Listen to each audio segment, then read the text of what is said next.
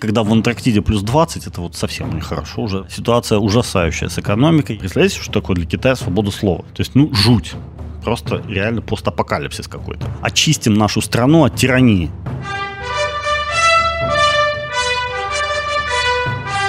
Такая договоренность, что за столом не рыгаем. Трамп также, помимо этого, публично, показательно уволил с работы в Белом доме Александра Виндмана.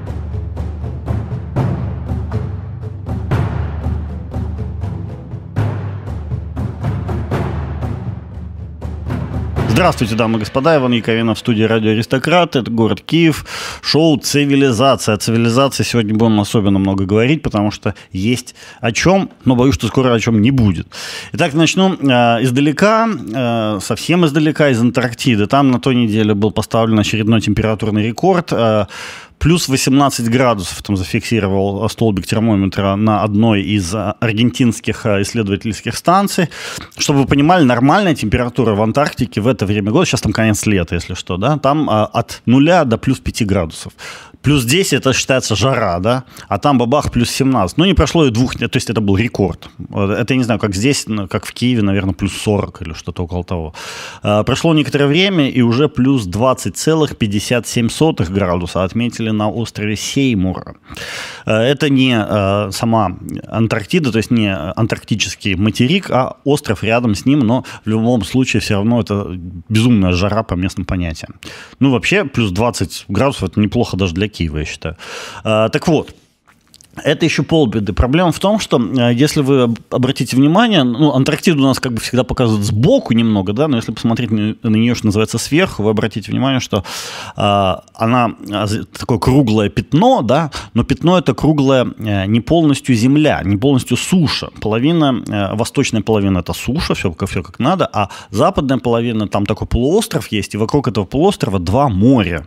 И вот эти моря, э, они нагреваются гораздо сильнее, чем суша, и из-за этого ледники там начинают очень активно таять. А в такую погоду они тают супер быстро. Из-за этого ученые уже бьют тревогу из-за того, что вот эта вот западная часть Антарктиды может нафиг растаять, и все, и не будет никакой Антарктиды. Будет что-то типа Гренландии, потому что, знаете, на, ну, на, на, в Гренландии только на а, суше, собственно, есть ледники. На, э, на воде э, вокруг Гренландии ледников практически нет, многолетних льдов там нет. В Антарктиде они пока есть, но если они исчезнут, ну, тогда будет совсем плохо все.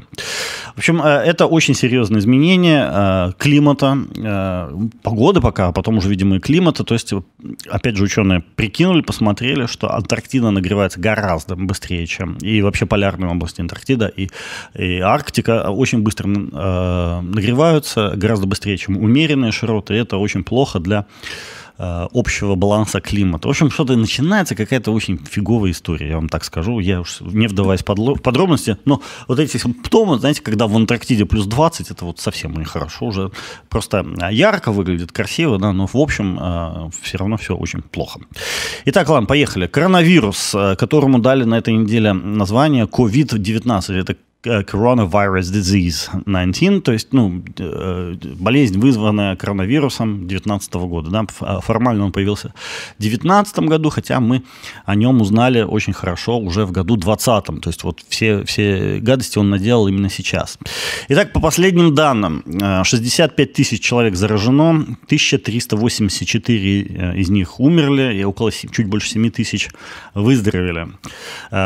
Данные эти приблизительные, потому что э, вот буквально пару дней назад китайцы изменили систему подсчета зараженных, и выяснилось сразу, что их на 15 тысяч человек больше. Почему?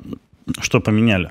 А, раньше а, брали, а, записывали в число зараженных только тех людей, у которых в крови прям выявлены вот эти вирусы, вот они точно железно есть. Сейчас в зараженных записывают всех тех людей, у кого есть серьезные симптомы, указывающие на наличие в их телах вот этого коронавируса. То есть сильный кашель, температура, т.д. То есть, в общем, раньше их считали как бы, ну, типа, подумаешь, может, просто человек болеет простудой, гриппом там что-нибудь такое. Нет, сейчас их всех туда фигачат в раздел больных э, э, вот этим ковидом, потому что так считается, по крайней мере, что так легче держать болезнь под контролем и э, соблюдать карантинные всякие меры. Насчет карантинных мер. Вообще самое главное, что я смотрю, выяснилось насчет этой болезни, что она дико заразная, просто невероятно заразная. Вот на этом корабле, помню, я, по-моему, в прошлый раз рассказывал про Diamond Princess, э, судно, судно круизный лайнер, стоящий на приколе в Японии, в Якогаме, в порту Якогама. Там объявлен карантин, с него никого не выпускают, только самых больных оттуда вытаскивают уже, там, знаете, в, в таких специальных колбах, чтобы они никого вокруг на берегу не заразили. Так вот, уже больше 200 человек там заражен. То есть, вообще говоря, началось все с того, что туда залез один китаец, потусил, слез он кого-то заразил, а эти люди еще кого-то, еще кого-то. И пошло-поехал, и, в общем, там уже э, примерно 10% этого корабля, ну, населения этого корабля уже э, лежит с симптомами болезни. Э, что указывает на то, что достаточно одного человека в более-менее э, скучном помещении с людьми, да, то есть э, в помещении, где много людей в какой-то области, и все, все всех перезаражает моментально. То есть э, степень заразности просто какая-то фантастическая. Я даже не знаю, с чем это можно. Ну, наверное, с гриппом можно сравнить. Наверное, грипп также заражает. Хотя грипп, наверное, все-таки менее заразный. А, дальше поехали. Еще что важно э, на экономику это уже начало все оказывать очень сильный эффект, вот эта вся эпидемия. Э, дело в том, ну, вы хотя бы взять те же круизные компании, терпят колоссальные убытки, и люди категорически отказываются кататься на круизных лайнерах. Вообще ездить в Азию никто не хочет сейчас, туристические компании, бизнесы терпят колоссальные убытки, в общем, э, все плохо. Все сидят дома и никуда боятся ехать куда бы то ни было. Но и это еще не все. Потребление нефти в Китае сократилось за последнее время на 20%. 20% это огромная цифра. Это значит, что в Китае начался полномасштабный спад экономический. Э, на этой неделе, э, в понедельник, был первый рабочий день после э, длинных выходных, связанных с лунным а, Новым годом, празднованием китайского лунного года. Э, эти выходные были, вообще длятся неделю, но и в этом году их продлили на еще одну неделю. И вот это уже вторая неделя закончилась, и в понедельник типа люди должны были выйти на работу. На самом деле почти никто на работу не пошел, потому что, ну, во-первых, люди боятся, а во-вторых, а, даже некоторые офисы, бизнесы не открываются, потому что, ну, как бы владельцы даже думают, ну, его нафиг, я лучше дома посижу, как бы жизнь дороже, да.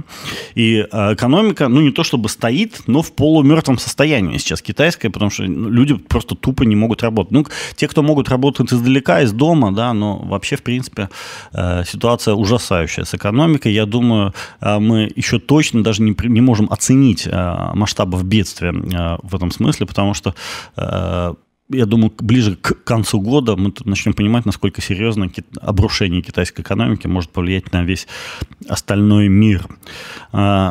Кстати, еще такой момент. Никто не знает, вообще практически нет информации о том, что сейчас происходит в китайских провинциях, то есть в селе, что называется, да, где живет, в общем-то, большинство китайцев. А, дело в том, что, смотрите, там вообще никакая статистика не ведется, медицина там, знаете, лягушками лечат и всякими пиявками в лучшем случае, и, ну, такого плана. Потому что в городах в Китае еще более-менее нормальная медицина, а в селе там до сих пор нищета, и вообще все довольно плохо, печально. Поэтому, что в китайских селах творится, мы знаем очень приблизительно. Но но а, Зато мы знаем вот что. Из Уханя, города, в котором все началось, это город 11 миллионов жителей. Да? В первые же дни, в первые недели эпидемии оттуда свинтило 5 миллионов человек. Посмотрели примерно, прикинули, что это за 5 миллионов. Эти 5 миллионов, а, а, как правило, приезжие как раз из сел и небольших городов, разбросанных по всему Китаю, которые приехали в большой город Ухань заработать денег.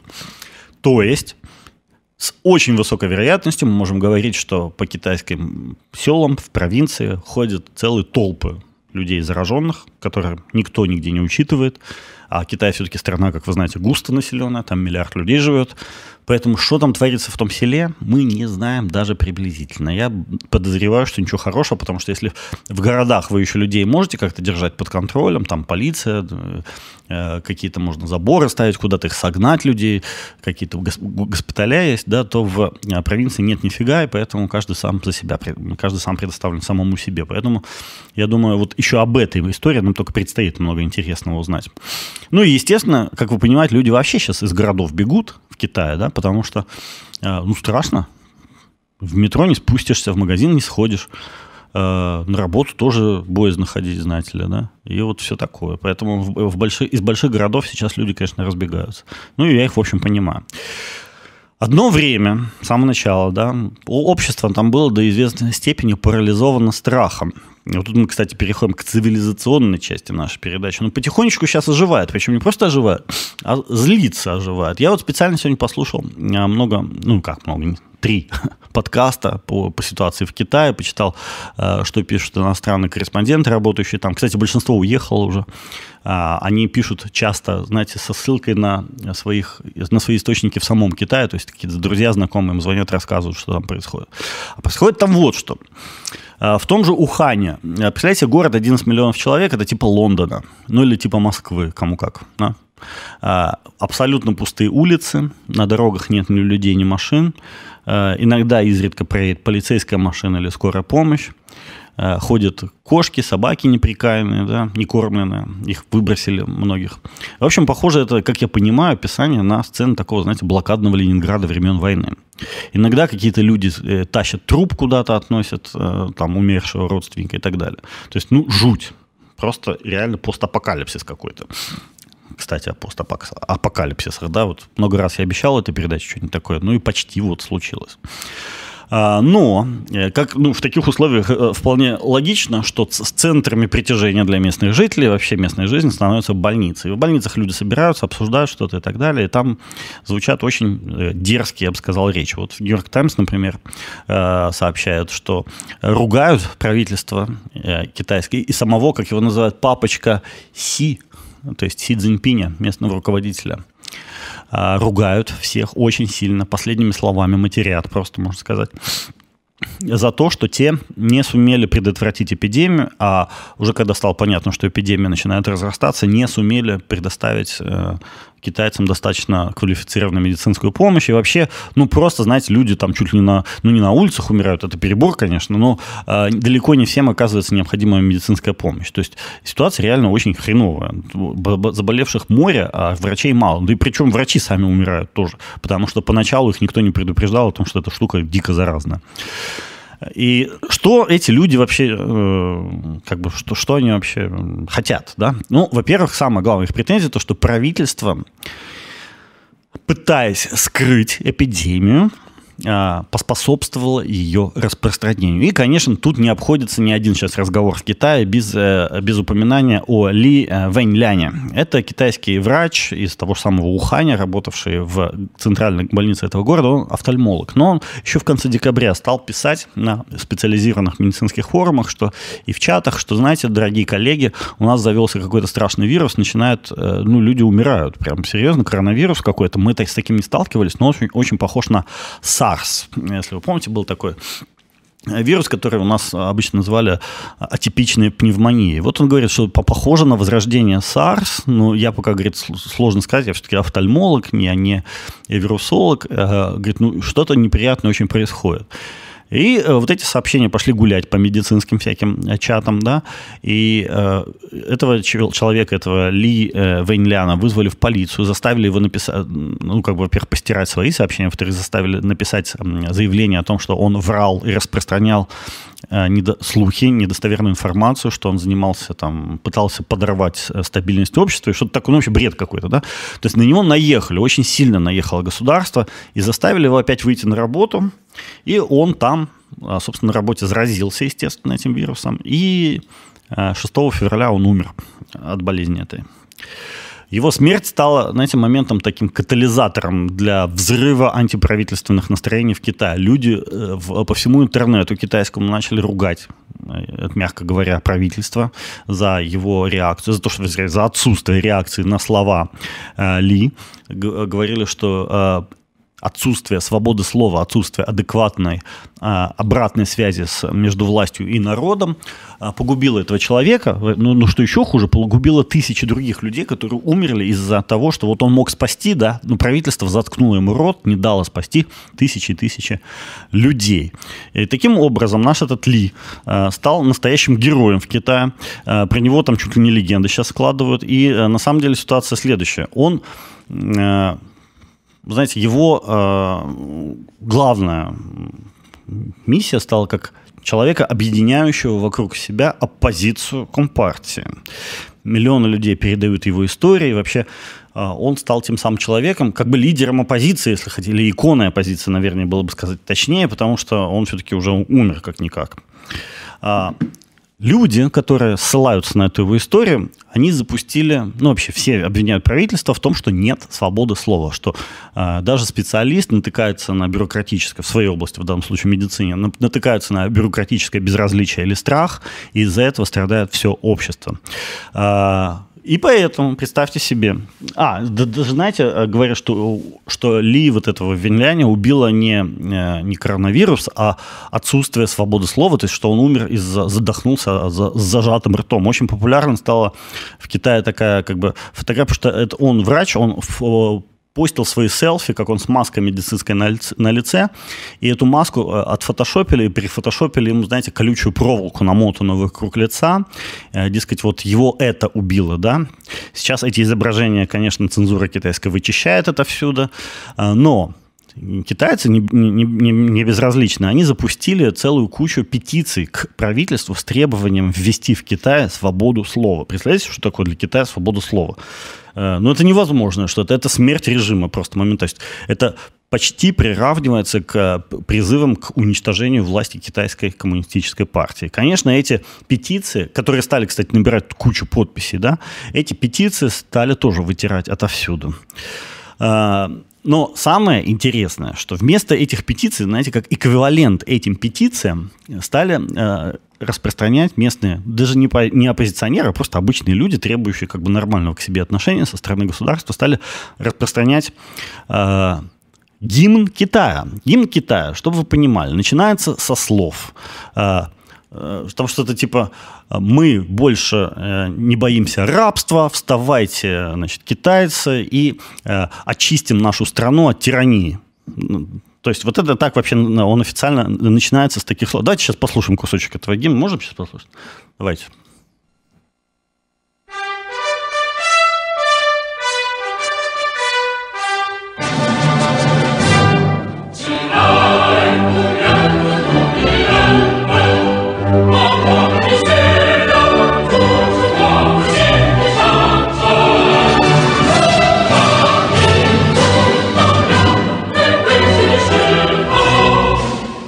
В общем, э, понятно, там вставайте те, кто против рабства, защитим Китай от вторжения темных сил, вставай, вставай, вставай.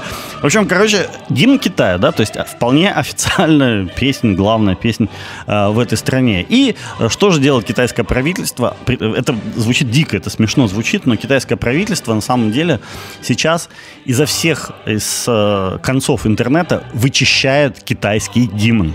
То есть он стал как бы символом сопротивления китайской партии, китайской компартии. Потому что, конечно, китайская компартия нифига не хочет, что, чтобы народ вставал, вставал, вставал, и она не думает, что пробил тревожный час, и что, э, и уж тем более оно не хочет, чтобы кругом э, зазвучал боевой клич, как поется в этом, собственно, гимне. Да? То есть гимн хорош был, когда для самих, Китай, для самих коммунистов, это когда они вставай, вставай кричали, а вот когда против них, то им уже, короче, это нифига не нравится. Но народ уже, понимаете, с ухмылкой такой строл фейс везде постит гимн Китая в котором написано, в общем, этот гимн при некотором, фа, некотором фантазии можно э, расценивать как призыв к началу революции. По сути дела, ну а как еще, да? Типа, давай, давайте, люди, поднимемся, э, долой рабство, мы заслуживаем свободы и все такое. То есть э, э, уничтожение, вытирание собственного гимна, до такого еще цензура, мне кажется, ни в одной стране не, не доходила, но Китай вот, пожалуйста. Э, я думаю, в связи с этим всем, сейчас вообще ситуация такая интересная, знаете, как складывается.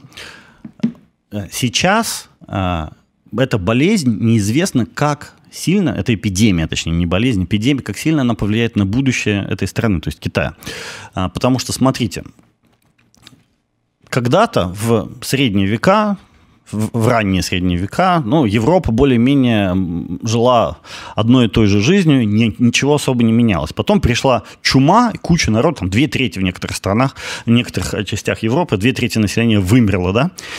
И после этого феодалам, да и вообще богатым людям приходилось за очень большие деньги нанимать людей чтобы те работали. Потому что не осталось просто крепостных, крепостные все поумирали. Да? Нанимать со стороны, звать людей, чтобы те делали хоть какую-то работу.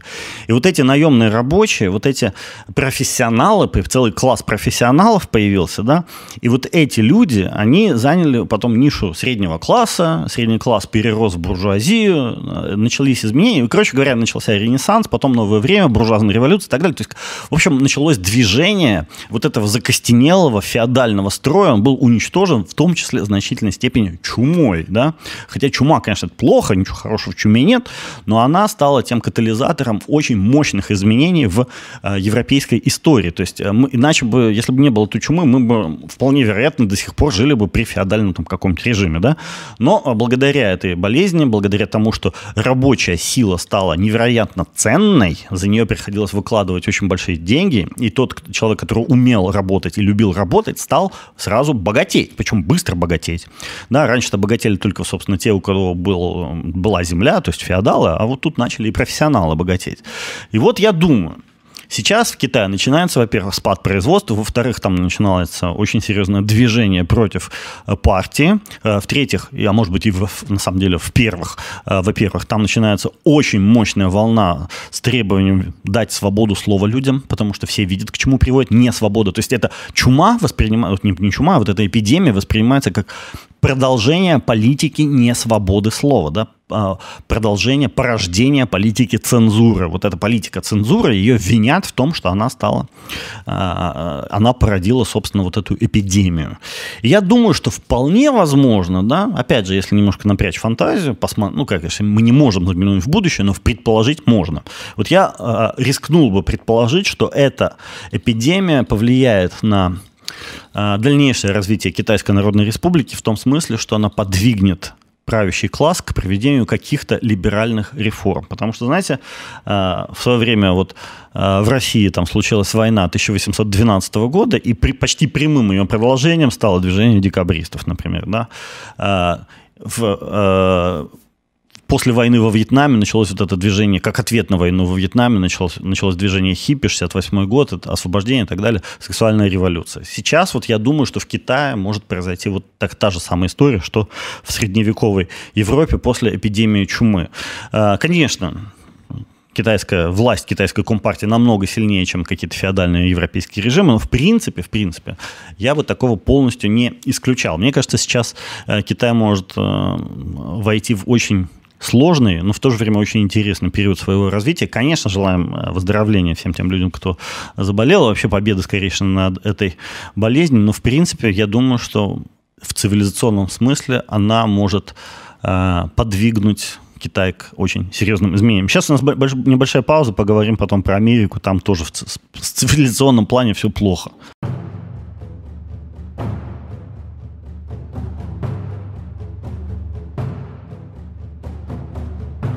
Победителя выборов определяет уже не Владимир Путин и не его люди.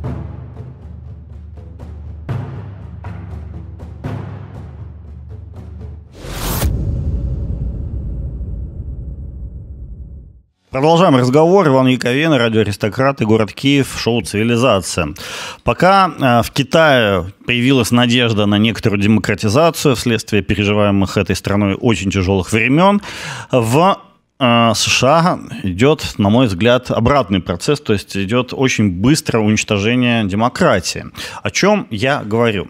Смотрите, совсем недавно, как вы знаете, Сенат оправдал Дональда Трампа по делу об импичменте. Я тогда еще говорил, что дело может это очень плохо кончится, потому что э, президент США потерял любые сдержки, ограничения для того, чтобы творить абсолютно любые безумства. И так, в общем-то, и получается. Он занялся именно этим сейчас.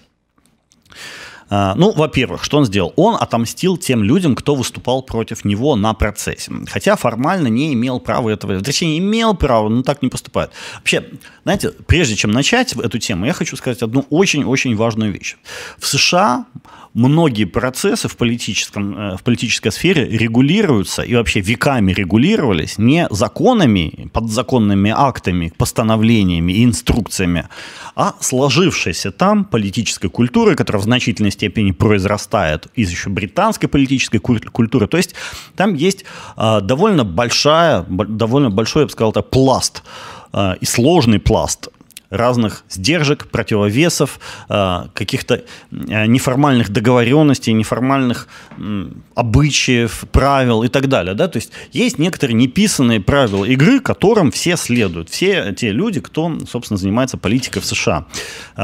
Эти правила, они не обязательно записаны в законах. Ну вот знаете, почему не записаны? Потому что ну, все, например, знают, да, что во время ужина, например, рыгать громогласно за столом, по крайней мере, в Европе, может быть, в Азии это иначе, ну, некрасиво, так никто не делает, да, и когда собираются там какие-то джентльмены, да, э, то они, у них как бы есть такое такая договоренность, что за столом не рыгаем, да, и э, в салат э, лапой, рукой своей не лезем, да, для этого есть там ложка и так далее, то есть есть там, есть какие-то правила, в общем.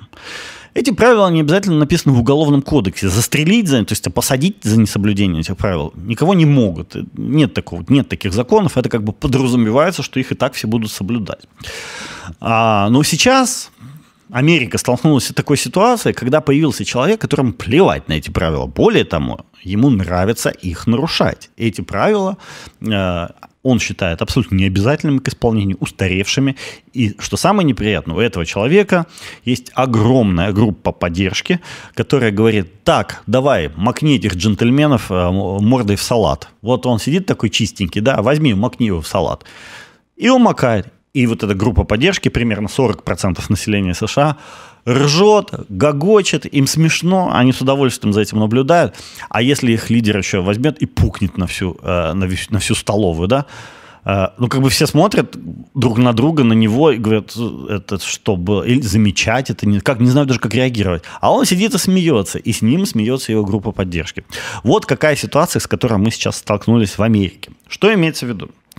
Э, есть некоторые вот эти вот правила, да, о которых которые заведены и которых никто никогда не нарушал. Ну, например, одно из них гласит, что президент США не вмешивается в работу а, Министерства юстиции. Министерство юстиции, оно, помимо всяких других функций, в Америке а, является, по сути дела, генеральной прокуратурой. Да? И генеральный прокурор, он формально как бы считается э, членом правительства, он входит в правительство и назначается по квоте президента с одобрения, правда, Сената, но э, президентом. Но а, он, тем не менее, абсолютно независимая фигура, да, считается, то есть это считается одним из основных условий функци... нормального функционирования демократии и равенства всех перед законом и вообще верховенства права э, считается то, что генеральный прокурор должен быть абсолютно независимой фигурой, а да и вообще вся прокуратура должна быть независимой ни от кого, ни от левых, ни от правых, просто и ко всем людям в стране относиться абсолютно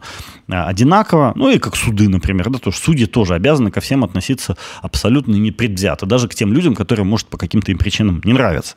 А, то есть вот была такая договоренность, что вот этого мы не делаем, да, мы не, что прокурор, э, прокуратура у нас вообще независимый орган. Но приходит Трамп и говорит, а где это написано? Он говорит, ну это не написано, это вот так заведено. Он говорит, ага.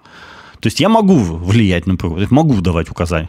Форм, говорит, ну формально ты можешь, да, как говорится, формально ты можешь пукнуть на званом обеде, но не надо этого делать. А он говорит, а я хочу.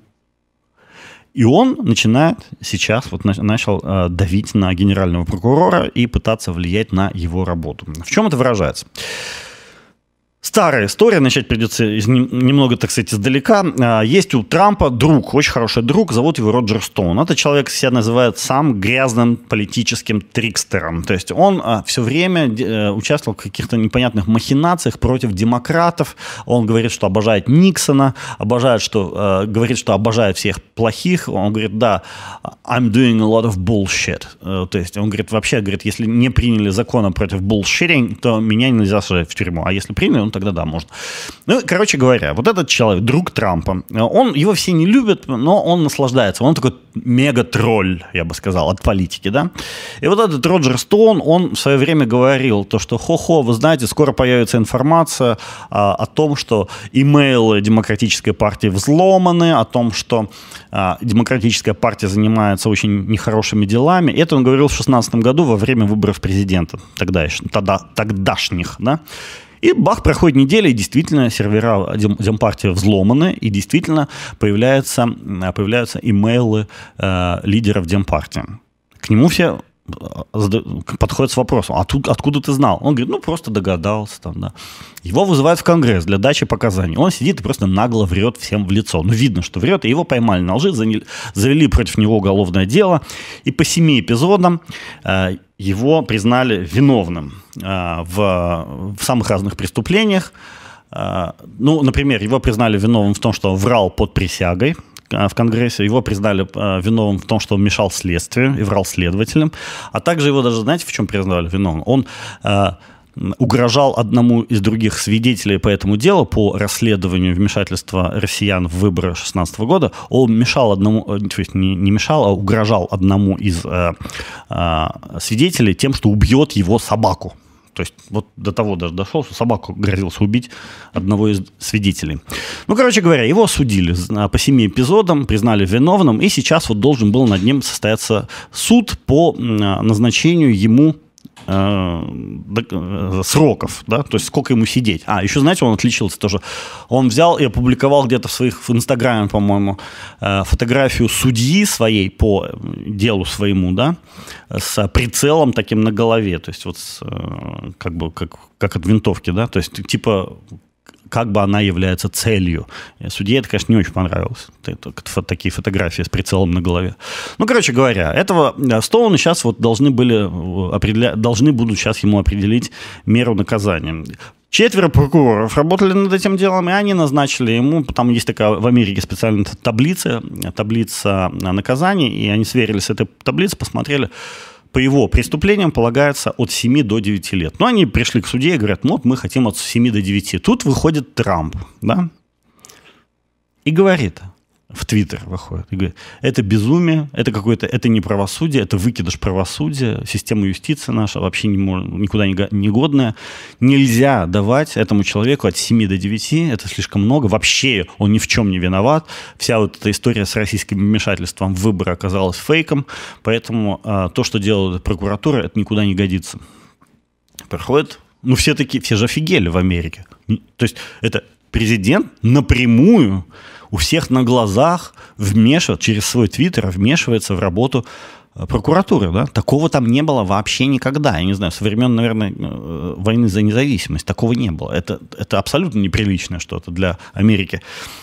А, там все аж ахнули. Ну, еще сильнее все ахнули на следующий день, утром, когда генеральный прокурор Уильям Барр, назначенный Трампом, Э, потребовал от Министерства юстиции, то есть от прокуратуры, по сути дела, переписать вот это заключение обвинительное и на, э, потребовать для э, трамповского друга вот этого Роджера Стоуна не от 7 до 9 лет, а существенно меньше. Сколько меньше, мы пока не знаем, потому что информация держится в секрете. Ну, существенно меньше. Что произошло? То есть сначала президент вмешался в работу прокуратуры, потребовал э, ради своего кореша, признанного виновным в совершении уголовных преступлений, то есть ради уголовника. Он говорит, вы что? Трамп заступился за человека, вравшего э, в Конгрессе под присягой, и доказано его это вранье, да, то есть это не какие-то байки, это реально доказанный факт. Э, то есть за преступника он вступился, и вмешался ради этого в работу прокуратуры. А потом генпрокурор под давлением со стороны президента вмешался в работу своих подчиненных, что тоже категорически нельзя. То есть как можно в Америке, да, то есть не, нет запрета на это, но так не принято, так никто никогда не делал. Это вообще было нехорошо, ну нельзя, да, то есть оно... Это, это вот реально как, не знаю, наложить кучу в центре комнаты, придя в гости к кому-то, да? Ну, не, тебя в тюрьму за это не посадят, ну так не делается. А вот они сделали. Четверо прокуроров, которые работали над этим делом, над э, делом Стоуна, тут же подали в отставку. Сказали, мы, мы не собираемся в этом участвовать. Это какая-то херня, да? И вообще можно их понять, потому что, то есть, точнее, нельзя бы их было понять в нормальных обстоятельствах, потому что э, я вот слышал выступления разных американских э, сотрудников вот этой юстиции, органов юстиции, так они говорят, никогда вообще в истории не было случая, чтобы накануне оглашения приговора четыре прокурора, которые активно работали над каким-то делом, очень серьезным, важным делом, подавали в отставку. Нет, они это дело доводят до конца обязательно. Не может быть такого, чтобы они прямо накануне своего триумфа подали в отставку. Это бред, это без... такого не бывает. Но вот теперь бывает. О чем это все говорит? А, ну и это еще не все. После э, Трамп также, помимо этого, публично показательно уволил с работы в Белом доме Александра Виндмана. Помните, это такой мигрант из Украины, э, который в трехлетнем возрасте со своим братом-близнецом и отцом из Киева переехал жить в Нью-Йорк стал там военнослужащим, полковником, он воевал в Ираке, получил там ранение, то есть, ну, уж куда. И он выступал в Конгрессе, говорил, дорогой отец, здесь тебе не Советский Союз, здесь за правду меня никто не накажет. Я, со мной все будет в порядке. Ну, естественно, проходит он пару месяцев, и Трамп его просто пендалем под зад выкидывает из Белого дома. Ха-ха, никто не накажет. Здесь вам не Советский Союз. Винд... И не только самого Виндмана, да, но и его брата-близнеца, который вообще никакого отношения ко всей этой истории не имеет. Просто вот как в мафии, да, за... не только ты пострадаешь, но и твои, твои родственники пострадают. Это, во-первых. Во-вторых, он уволил, уволил даже Гордона Сондланда, посла США в Евросоюзе, э, который с точки зрения Трампа дал немного не те показания, которые ему хотелось. Сондланд не хотел, а, он говорит, давайте я сам уйду с этой должности, потому что, ну, я не хочу, мне это, не хочу позорно быть изгнанным. Ему говорят, не, ты будешь позорно выгнан.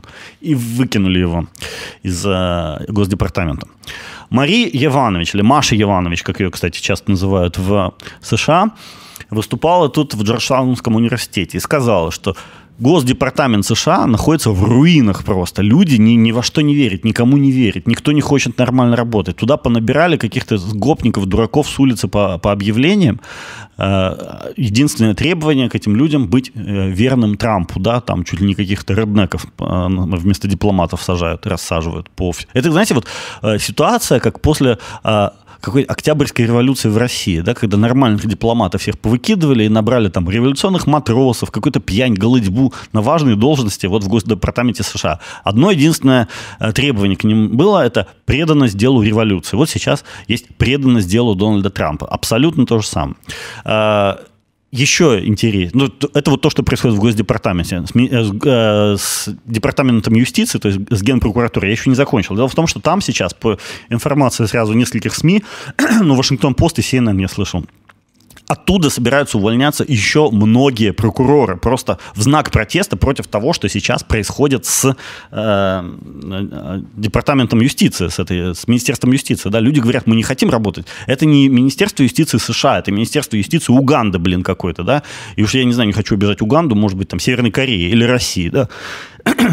Мы не явля... мы больше, мы перестали быть независимым органом юстиции. Люди, люди не хотят в этом трудиться, вообще быть э, причастными к этому.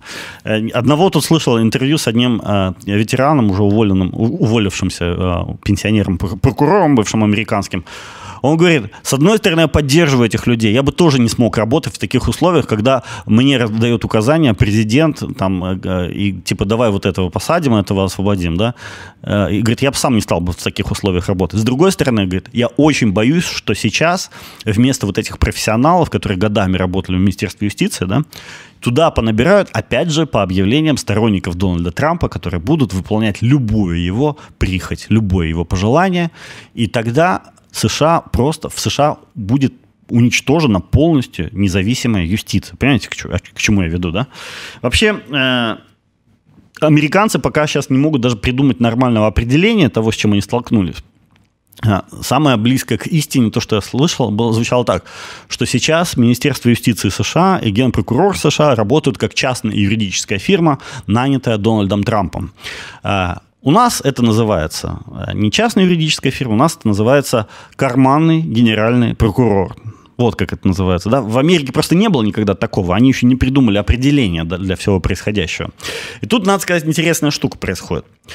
А, из-за того, что куча прокуроров обычных сейчас собираются увольняться из органов, так сказать, Уильям Барр, действующий глава э, этой прокуратуры, да, э, действующий генпрокурор, он в интервью ABC News сказал, что попросил Трампа больше не писать твитов с давлением, с просьбами как-то повлиять на работу прокуратуры. Как бы он говорит, дорогой Дональд Трамп, Я сделаю для тебя все, что ты хочешь. Ну, пожалуйста, не, давай не будем это делать публично. Давай, чтобы не, не будем нервировать всех э, моих подчиненных, потому что у меня все уволятся, просто мне работать не с кем будет. Да, давай мы с тобой тихо будем эти вопросы решать, публично не надо. Некоторые американцы наивные подумали, что генпрокурор наконец-то отрастил себе позвоночник и решил встать вот гордо с поднятой головой против Дональда Трампа. Они, балбесы, не понимают, что нет, в таких, э, в мафии так не делается. Они просто, бар просто просит, чтобы сделать все по-тихому. Он не собирается в, в восстание какое-то начинать против Трампа. Ни в коем случае. Ему его все устраивает. Он просто хочет делать все это тихо, э, без объявления в прессе, так сказать. Да? И он попросил Трампа, не надо больше твитов. Не надо. Давай все как-то так под одеялом сделаем и все, чтобы никто ничего не видел. Э, и тут э, к самому главному мы подвожу вообще мысль в чем заключается основная. В том, что, понимаете, когда перестают соблюдаться многосотлетние, не просто многолетние, а многосотлетние правила и какие-то нормы поведения, особенно внутри политического общества, да, вот то, что было заведено еще начиная там со времен войны за независимость и гражданской войны. Вот когда все эти правила и нормы перестают соблюдаться, происходит коллапс системы. А, понимаете, именно вот такие режимы, как а, американская э, демократия, как британская демократия, они базируются, на, в общем, в значительной степени на прецеденте. Да? Если эти прецеденты, если эти правила, неписанные правила не соблюдаются, законов, которые там говорят, так поступать, вот так их просто нет. Поэтому можно делать все, что угодно. Если отмести вот эти неписанные правила, да, то, все, то становится все можно. И сейчас мы наблюдаем вот эту самую ситуацию, когда все становится можно. Когда генерального прокурора президент может использовать как дубину да, против своих оппонентов. И он уже начал использовать, потому что буквально три дня назад Бар, вот этот генпрокурор, сказал, что он очень внимательно изучит компромат на Джо Байдена, на политического оппонента Дональда Трампа, который э, был добыт э, Рудольфом Джулиани, бывшим мэром Нью-Йорка, а ныне решалой личным Дональда Трампа, здесь, в Украине. То есть генпрокурор пообещал надавить президенту, пообещал, пообещал надавить на главного врага президента политического. При этом ген, э, генпрокурор отмазывает от тюрьмы друга президента, хотя этот друг признан уголовным преступником.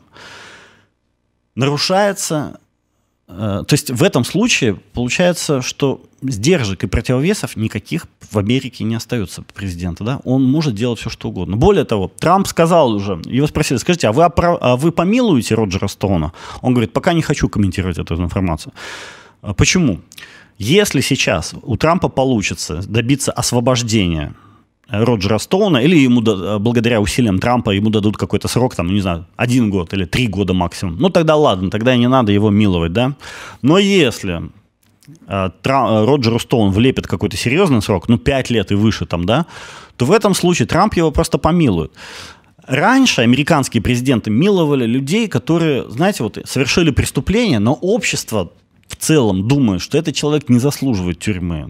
Ну вот вынужден был, я не знаю, что-то такое-то случилось, но не заслуживает этот человек тюрьмы. Вот тогда э, президент может его помиловать. То есть формально виноват, а по, по сути, ну, вроде как и не очень. Да? Вот тогда президент его может... Вот как а, Челси Мэннинг, помните, там, э, который в Вики, Wikileaks, в общем, стал источником информации для самого изначального Wikileaks еще там 10 лет назад. А, когда еще был Брэдли Маннинг. Это был солдат, который просто бескорыстно слил в прессу всему миру американскую переписку американских дипломатов. Для того, чтобы, как он сказал, хочу, чтобы весь мир узнал, чем занимается Америка. То есть, в принципе, он, конечно, совершил преступление, но не для себя, а ради, так сказать, всего мира, ради того, чтобы весь мир узнал, что творится в США. И вот его Барак Обама, например, помиловал, да, там осталось сидеть немного, это он поменял а, пол, был Брэдли Мэннинг, стал Челси Мэннинг, а, ну вот уже Челси Мэннинг вышла на свободу а, благодаря Бараку Обаме, а, помиловал ее он. А вот здесь, в этой ситуации, да, человек еще в тюрьму даже не сел, а его Трамп уже дает понять, что он его помилует. Опять же, не принято это, не, это неприлично. Президенты так людей не миловали никогда в Америке. Это считалось э, порочным, неправильным, неприличным. Такого президента потом можно было бы... От, э, такой президент не имел бы шансов победить на выборах в дальнейшем. Но сейчас у него такие шансы есть, причем шансы очень высокие, потому что у него есть вот это 40% поддержки людей, э, которые с свистом, хохотом, с пивом, с попкорном смотрят за происходящим и говорят, да, да, да, давай, так его. Вот этот интеллигент там что-то возмущается, а кинь в него говном. И Трамп берет, кидает говном, и все смеются, вот эта его группа поддержки, всем это очень нравится, да. То есть раньше это, это было абсолютно немыслимое что-то, никогда в жизни президенты ничего подобного не творяли. А сейчас, если надо кинуть говном, Трамп кинет говном, для него это вообще никакой проблемы не составляет. А, вот он собирается кинуть просто в общество американскому, в лицо этому обществу говном. Ну, конечно, не своим 40%, эти говнов любят, а, а всем остальным. Э, из-за этого в Америке сейчас назревает очень большой, как мне кажется, вот именно цивилизационный кризис, потому что, понимаете, э, общество э, оказалось расколото по фундаментальному э, признаку, по отношению к авторитаризму и к демократии. Сторонникам Трампа демократия не нравится, они не хотят демократии, им это не интересно. Они считают, что... И вообще вот эта старая демократия с традициями, с нормами поведения, с каким-то... Э, с тем, что как себя вести в обществе. Им это все не нравится. Они, они это считают это какой-то херней. Да? Им это неинтересно все. Плевать они на это все хотели. Им хочется поржать, им хочется веселья, им хочется вот, вот чтобы в морды макнуть в говно кого-нибудь, да. Вот это вот они хотят, и для них это ценностью является. А вот эти все вот, извините, вот Шариковы такие, знаете, вот реально ша, шариковщина такая, швондеры с шариками. Вот Э, вот для них это для них нормально, да. А какие-то вот эти все, извините, простите, им это ничего не интересно. И поэтому общество американское очень здорово расколото. И Трамп ведет это общество сейчас, как мне кажется, к диктатуре, потому что не осталось никаких ограничителей у его власти пресса идет в Сенат, спрашивают у сенаторов, скажите, вам нравится то, что вытворяет э, э президент с прокуратурой? Сенатор, республиканец, отводит глаза, ему сказать нечего. Ему, он, точнее, он, он бы сказал бы, что ему, конечно, это не нравится, он понимает, что страна гибнет. Но он не может это сказать, потому что если он это скажет, то Трамп поступит с ним, как сейчас поступает с Митом Ромни, единственным республиканцем, который голосовал против него во время э, слушаний в, Сен, в Сенате по импичменту. Ромни сказал, я вижу, что президент совершил преступление, я должен проголосовать против него. Так против Ромни сейчас развязана просто какая-то колоссальная травля, просто дикая травля в Америке, вот со стороны Трампа и его приспешников. Они хотят просто уничтожить Ромни как бы в назидание другим. Вот как Трамп говорил, я повешу его голову на пику на выходе из Белого дома. Да? Вот он сейчас собирается именно это и сделать с э, Митом Ромни, с республиканцем, единственным, который голосовал против него на слушаниях по импичменту. В общем, э, сейчас э, Трамп, как мне еще кажется, знаете, до выборов он пока исследует возможности нарушения закона. То есть вот он смотрит, можно ли с помощью прокуратуры отмазать друга от тюряги. Походу, да, можно. Пока получается все. Потом он смотрит, ага, а можно ли с помощью прокуратуры уничтожить моего политического оппонента? Так, можно. А можно ли суд размазать по стеночке? И вы знаете, сейчас, вот буквально вчера, сегодня, Трамп очень активно ругает в своем Твиттере, э, в публичных выступлениях суд, суды и судью, которая будет судить Роджера Стоуна. Говорит, что она предвзята, что она ненавидит Трампа и так далее. То есть он заранее уничтожил, то есть начал атаку на свободные суды и так далее. То есть человек Сейчас он проверяет границы своих новых возможностей, возможностей, открывшихся после оправдания его в Сенате. И эти границы сейчас кажутся бесконечными, да, то есть он может делать все, что хочет, но пока боится. Чего боится? Боится выборов. Боится зайти слишком далеко до выборов в ноябре. Он понимает, что если он сделает что-то такое совсем уж безумное, что покажется безумным даже его в этой базе, да, ну, например, не знаю, поднимет над Белым домом российский флаг. Хотя, думаю, ему бы сейчас уже за это ничего не было. Ну, вот захочется ему, раз поднимет. Э, я думаю, в этом случае даже его база от, от, от него отвернется, вот эти 40%, ну, хотя бы часть, да. Э, ну, в принципе, он понимает, что он может делать, в общем, все, что хочет сейчас. Никто его не остановит. Сенат его не остановит, импичмент ему уже больше не объявят, ничего ему не будет. Вот буквально ничего. Ну, пресса ругается, да и черт ним, пускай все ругают. Кстати, я думаю, очень скоро он и за прессу возьмется. Такие диктаторы э, с прессой долго не дружатся свободно. Он обязательно как-то начнет на них наезжать. Не знаю пока еще как. Закон какой-то примет или что-то еще. Сто процентов будут какие-то последствия для свободной прессы очень скоро. Но он боится пока на выборах проиграть. Я думаю, ради того, чтобы победить на выборах в ноябре, он будет использовать все абсолютно самые грязные, самые мерзкие, тошнотворные методы. Фальсификации будут, э, какие хочешь там эти самые программы, использованные в Фейсбуке, в Твиттере и так далее, программы, я имею в виду дезинформации и так далее. То есть будет все, что весь полный, полный, так сказать, фарш. Россия ему, естественно, в этом будет изо всех сил помогать, потому что россияне очень много ставят на победу Дональда Трампа. Хорошо ли это все для Украины? Конечно, плохо. Если, э, если сейчас Америка будет, начнет превращаться в авторитарную, тоталитарную страну, для Украины это ничего хорошего от этого точно не будет. Еще что хочу сказать. Вот если победит Дональд Трамп на выборах э, в ноябре, в этом случае почти неизбежно вот следующий его, вот он примет присягу как президент, когда, получается, в э, январе, да, в следующем году.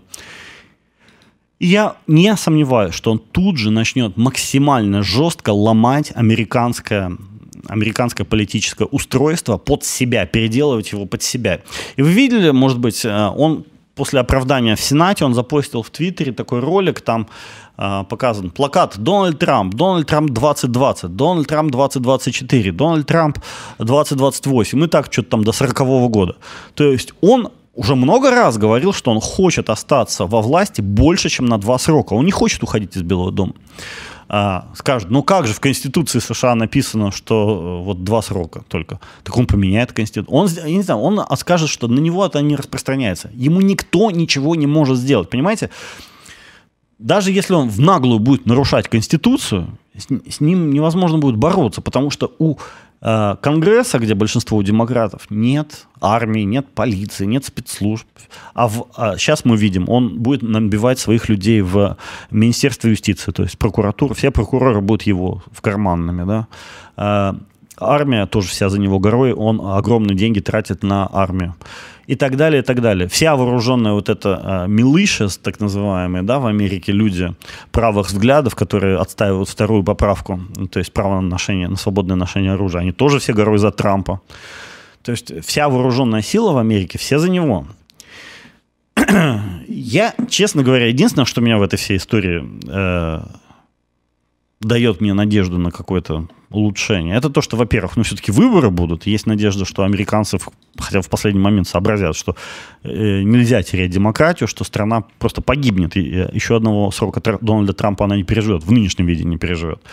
А, это первое. Второе, я надеюсь на то, что начнется какое-то движение гражданского сопротивления. Ну, что люди хотя бы просто на митинги начнут выходить, да, потому что американцы так привыкли к тому, что у них демократия, что они абсолютно не понимают, что демократию можно, можно сломать, можно отобрать у них.